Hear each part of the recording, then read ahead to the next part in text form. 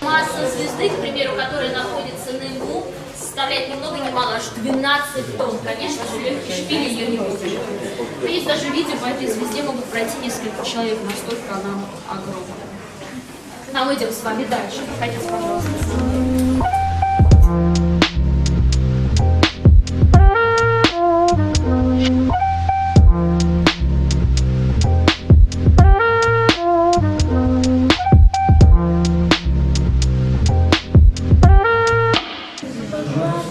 Под смотровой площадкой на отметках 328, 331 и 334 метра расположились три этажа легендарного ресторана «Седьмое небо».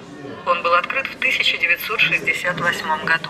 В советский период в ресторане были открыты три зала – золотой, серебряный и бронзовый. Каждый зал оснащен вращающимся полом, который совершает полный оборот за 40 минут.